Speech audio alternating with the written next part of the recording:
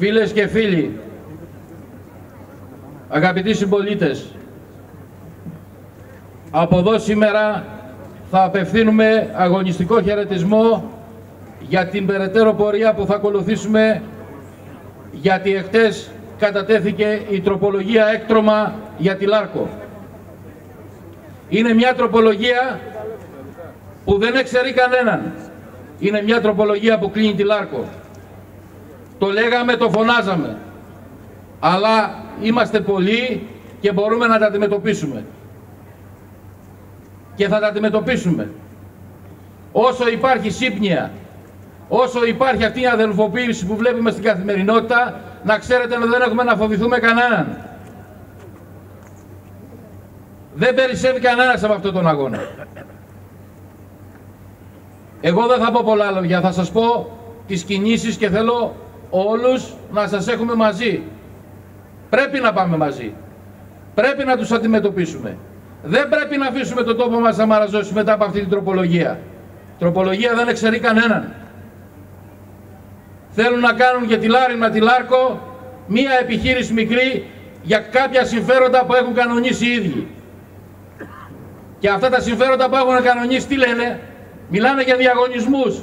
Ποιοι διαγωνισμοί, με έναν επενδυτή, είναι σαν κάποιον να τρέχει μόνος του και φοβάται με μείνει δεύτερος. Αυτό θέλουν να κάνουν. Γυρίζουν πάλι σε φαντάσματα παρελθόντος. Θέλουν να μας πάνε σε γενικό μαράζωμα της περιοχής. Αφυπνιστείτε, συνταχτείτε με τα σωματεία. Ο αγώνας που έχουμε είναι μεγάλος, είναι μακρύς. Και πραγματικά στα τόσα χρόνια πορείας που έχουμε όλοι μας, μας τιμά ότι το σύνολο των εργαζομένων ακολουθεί. Όλοι έχουμε καταλάβει τι πάει να γίνει στον τόπο το δικό μας. Αύριο αποφασίσαμε να κλείσουμε το δρόμο στο Μαρτίνο. Την Εθνική Οδό. Θα αφήσουμε μία μικρή παράκαμψη, συνεννοηθούμε με την αστυνομία το πώς θα κάνουμε και οι, οι εξελίξεις από εκεί και πέρα θα κάνουμε κατάληψη στο ΠΕΝ, στο Υπουργείο Οικονομικών και θα ακολουθήσει και άλλη πορεία στην Αθήνα. Δεν θα αφήσουμε ούτε μία μέρα να πάει χαμένη. Δεν πρέπει να πάει ο αγώνας μας χαμένος. Αυτό να καταλάβουμε όλοι.